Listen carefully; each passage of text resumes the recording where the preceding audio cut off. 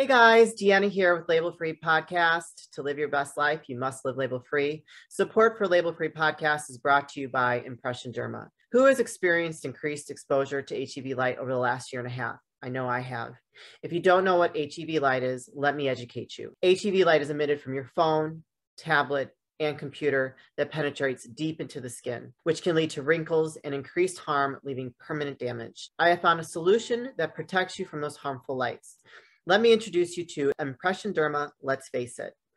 This product will increase collagen, promote hydration, improve elasticity, halt premature aging, and shield against those free radicals, all by using these key ingredients. Algae, buriti oil, bamboo extract, raspberry seed oil, bloom light, plus many others that are sustainably sourced and produced as well as ethically traded. Please head to impressionderma.com and use code labelfree20 for 20% off. Again, please head to impressionderma.com and use code labelfree20 for 20% off. What is good, everyone? This is your host, Deanna Kemp with Label Free Podcast. Live your best life. You must live label free. I'm super excited. I have a very special guest. She is a certified tarot uh, master, a psychic medium and author, and a past life specialist. Please welcome Corbie Mitleid. Corbie, thank you for joining us today. Can you please tell the audience a little bit about your background? It's great to be here. All right, let me give you the 30 second elevator speech. All right. Not interested in metaphysics when I was nine, read a book called The Witch Family and said, cool, I want some of that. Uh, fast forward to 1973 when I was a senior in high school. And yes, that tells you how old I am. Uh, that was the year Live and Let Die came out. So Spencer's had the James Bond 007 tarot deck, and I bought it because we were all hippies then. You know, everyone had a deck. Five years later, everyone else had moved on to roller skates, disco balls. I was still reading the cards. I was fascinated by them. Yeah. So for 20 years, I read for friends, learning to keep my ego on the shelf, clear messages. All of a sudden in 1994, I could talk to dead people and do hands on healing. And that's when the universe handed me my draft notice and said, Hello, you're working for me. Wow. Did it part time with lots of other jobs until uh, 9 11. When the towers burned, I looked at my husband and I said, I need to do this work full time. People need to know there are other answers out there. He said, I believe in you, go do it. So for a year, I still worked 70 hours a week as an executive recruiter, did the psychic work evenings and weekends once I knew I could make a living at it, closed the door on corporate, and have never looked back. So it's been 20 years. I read about a thousand people a year. I work six days a week and I get to get up in the morning. I don't have to get up in the morning. I That's love that. I love that. Um, so I've never really done uh, the tarot read. I think I've gotten a tarot card reading once, and mm-hmm. it, I mean that was many many years ago. I don't even remember what that was all about. So when you, out of just out of curiosity, how often yeah. do you find out the thing the, the what you read for your clients actually comes true for them? Well, um, that's assuming that I'm a fortune teller, which I'm not. Um, what I do is I show them here are your opportunities and how to grab them. Okay. Here's the tough stuff. Here's how to get through it around it. Here's your toolbox. Go rock and roll. Here's your example. Okay. If you said to me, I want to open up a vintage clothing store, I wouldn't flip a couple of cards and say, wait until November and fire the redhead. Be a card for you, a card for the energy around the business, a card for the brick and mortar location to look for, yeah. marketing, clients, competition, staff, finances, what you need to know, best possible outcome. All of these make things possible. It's empowering.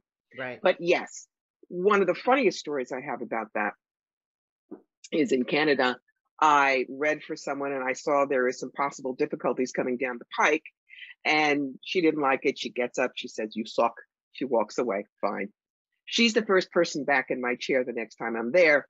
And she said, Last time you told me that I might want to take an aborter and then I might find a reason to sell my house. And I thought that was all bull.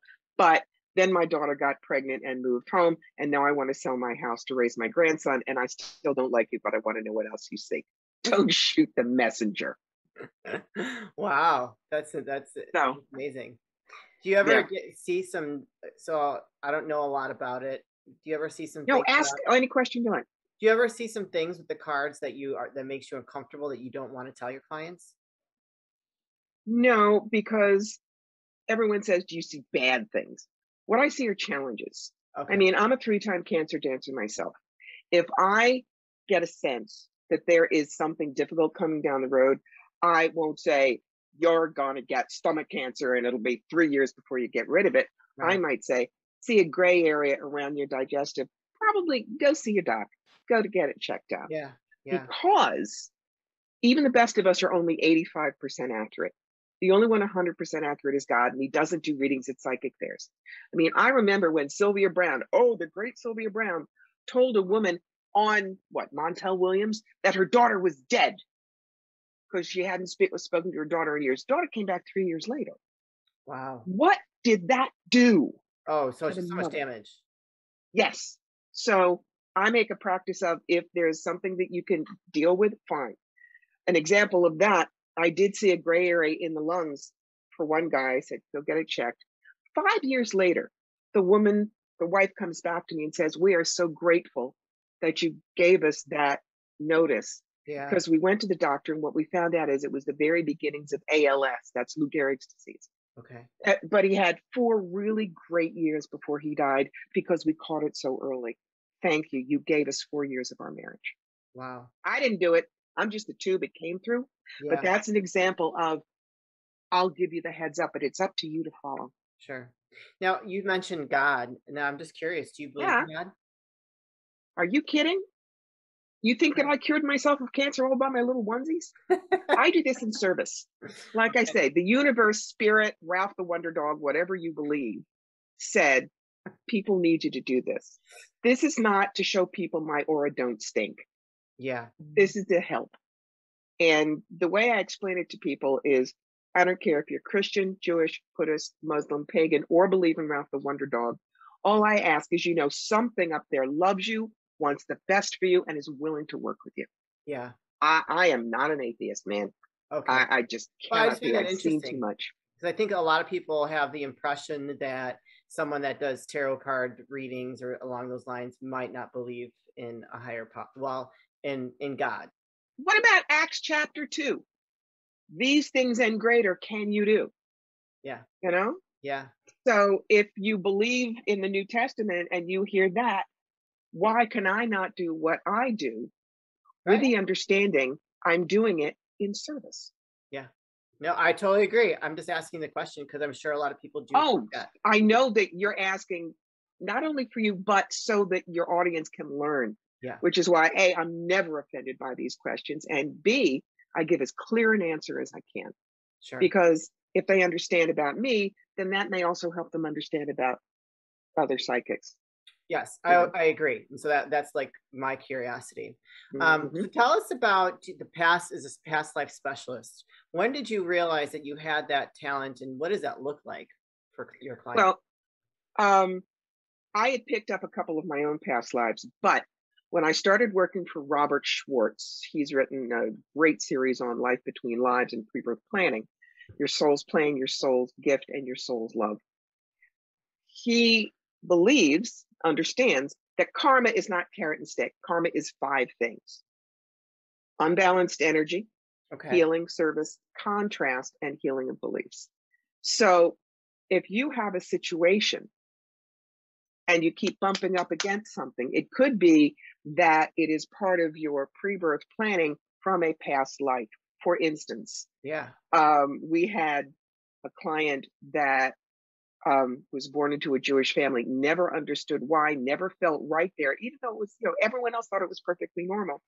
We found out that two lives ago, she was uh, a pilot in World War One, and in Germany, it wasn't as bad as World War Two, but Jews were still considered other.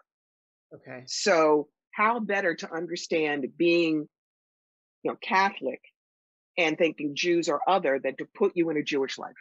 That's right. an example. Yeah. And I also love it because going with the pre uh, the pre-birth planning idea, a lot of people would say, "Oh, Corbie's had cancer three times. She must have been really bad." Mm-mm. The example I use, do you remember Ryan White? That was the kid in the late 80s and early 90s. He was 18 years old. He got AIDS from a blood transfusion. Yes. And everybody treated him like a pariah and bullied him, and the family was a mess. But then they made friends with Elton John. Now, at that point, Elton was drinking and drunking, drinking and drugging and dry, life into the ground. but he was so moved by Ryan and his family, he became their dear friends, sang at Ryan's funeral. And Ryan influenced him to get off the drink and the drugs. He's been more than 30 years clean and start the Elton John AIDS Foundation, which has raised half a billion dollars for AIDS and HIV research worldwide. Wow. To me, in his pre birth session, Ryan probably said, I want a life of service. It'll be short, it'll be tough, but look what happens if I do that.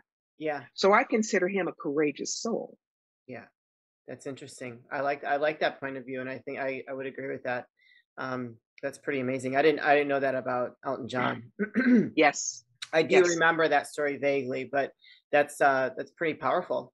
You know, so he came, he you know, he had something that was unfortunate happen to him and his that that what happened to him impacted the world like huge. It did. You know, It, how it really did. So you're so you're a psychic medium and and an author. Yep. So t- tell us about what books you've written. Okay. I've written three. Okay. Two of them have a psychic twist. One of them is is self help. So the self help book came first, and that's clean out your life closet.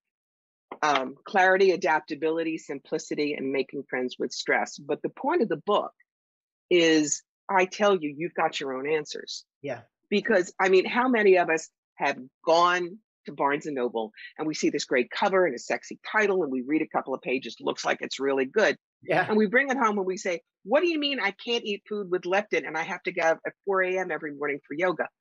I live in Milwaukee. I've got two preschool kids and I have a job. It's not happening. Yeah. My whole idea is in each chapter here's some of the dumb things I did. Here's a client example. Here's some things to think about. But at the end of each chapter, you've got the adventure pages Okay. where I ask you questions based on your life. So you can't look in the book and say, What did she say on page 57? Right. You have to look at your own. By the end of that book, that becomes your personal manual for Okay. how to make your life better. What is good, everyone? Deanna here with Label Free Podcast. Autumn is in the air, the pumpkins are in the patch, and our friends at Manscaped are here to make sure your man doesn't carve his pants pumpkins when he's grooming, if you know what I mean. Make sure he's keeping things fresh this fall with the leaders in male grooming and their brand new fourth edition performance package. Ladies, do we really want to cuddle up with a dude who isn't trimmed? I know I don't. My man's keeping it tight. Get him to take the leap into fall with Manscaped. Help him join the 2 million men worldwide using Manscaped by going to manscaped.com for 20% off plus free shipping with the code labelfree20. Again, go to manscaped.com and use the code labelfree20 for 20% off and free shipping. Can you give us an example in the book of how you help make life, people's lives better? Oh, absolutely. Um, one of the things that we do a lot of is we, we collect things. Yeah. Whether we're collector peoples, that is the ginger ninja. That's Harley. Harley, don't jump on. Thank you very much. Oh, we both got animals going on here. That's yes, we do. Yes, we do. Um, you've got um collector people, you know, depression glass, Disney stuffed animals, whatever. Yeah. You've got in the book I call it Rolodex people. Most people will not know what that is anymore. Um, but that's the people who collect people. Yeah. Then there are the been there, done that people. They have to go to all the Grateful Dead concerts, or they have to always be the first ones in a new restaurant.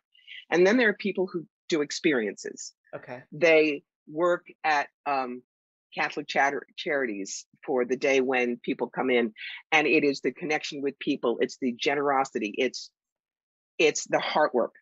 So here are some adventure pages. Of the four kinds of people in this chapter, which are you? What does being that kind of person bring to your life?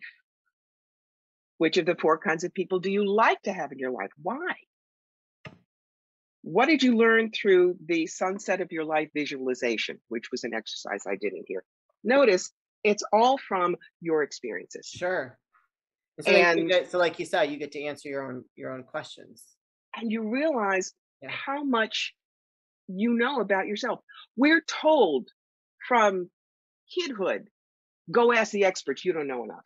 Yeah. It's one of the, the reasons that people are so unsure of themselves now. Now, that doesn't mean that experts are not appropriate. Right. Um, you know, doctors are smart. Um, and um, You come uh, from, a, you come from a family of a bunch of medical people too. Yeah. Yeah, dad was a cardiologist. My brother is world famous uh, researcher and doctor for cystic fibrosis and asthma. Mom Wow. was a nurse. So I have seen all of the good things that Yeah. medicine can bring you. Yeah. Okay. Um, but if we don't look inside ourselves, then we're not growing. Yes. We're not internalizing the lessons. I totally So agree. that's that's that book. okay. The next one I, I wrote because of an incident that I saw in Toronto years ago, 250 booth psychic fair. And there was someone across the way. She's what I call the fake gypsies. You know, you could put on the jingling jewelry and the skirt and do the bad accent. You can be a gypsy. So there was a woman walking down the aisle looking at the booths, and the fake gypsy runs out, grabs her arm. Now, in psychic show parlance, that's called hooking, and it's as bad as the other kind of hooking okay. but we hear her say, "Oh, you no need to pay 30, 40, 50 dollars. I do jump on for 10. Come." Drags the woman behind a screen like this. okay. 15 minutes later, a bunch of us see the client leaving crying hysterically, and a bunch of us you know, rush over. Are you all right? Yeah. Well, the gypsy had said she had a family curse. And if she didn't burn 400 specially blessed candles at the Roman Catholic Church, and the gypsy would bless for $1 a candle, her entire family, you know, dead. And the woman bought it. That's so terrible. this like, book, a scam. I know, notice it says how to find the real wizards and avoid the flying monkeys. Yes. So this book is specifically for people who really would like to use intuitive counseling, but they don't want to learn how to, they don't need psychic development. Can you just They need to learn can how- you, can you just say the title of the book really quick? Yes, it's called The Psychic Yellow Brick Road Okay. How to Find the Real Wizards and Avoid the Flying Monkeys. Um, the, the back title says Good Psychic Guidance is Art. Don't settle for a forgery. Yeah. And even if you never come to me, if that book helps you, then I've done my job. The thing that I had noticed is there are books out there, but all of them had a way of saying that the author was the only good psychic you could trust, so you have to go to her. It's not the deal. There are 9 billion people in the world. I can't read them all. Yeah. No, I want there to be other good psychics. Thank you. Yeah. So, and the other thing that pleased me enormously is a lot of psychics read it and said, God, I wish I'd had this when I was starting out. I'd know what to expect. Oh wow. That's that's a great compliment to you. It was, it was. Um, and the third book I wrote was because I did 45 weekends a year on the road, 50,000 miles a year on my car. My friends nicknamed me the Travel Channel. And then in the summer of nine, uh, 19, my back went out. Oh A pinched nerve, herniated disc, forget it. yeah. It was okay by November, but the doctor said, You are toast. You are not going to be able to load in and load out, and you're not going to be able to be 10 hours in the car. yeah. That's so-. But that was the universe taking care of me because I had from November to the following March, I put all of my business online. And what happened in March 2020, the beginning of the year of Murder Hornet Bingo and Hold My Beer? Now, all of my friends that still did the circuit, their business tanked. yeah. I actually did better last year than I had done on the road. So I said, great. But there's so much I learned Yeah. and there is no book out there that gives you an idea of how to make this work that I wrote. You've got the magic who needs a genie, the A-lister's guide to holistic expo success. So if you are a reader, if you're a vendor for holistic products, if you're a healer, Reiki, anything like that, this is a book that shows you how to, as I put it, stand on the twin mountains of good business practice Sure. and WikiWoo. And I give you absolutely every secret that I had. There are things in the back like why sign up sheets and um, my job description for a front person and all of that. Because the better you look and the more professional you look, the better we all look. yes, for sure. So, Um, so where can people find those books?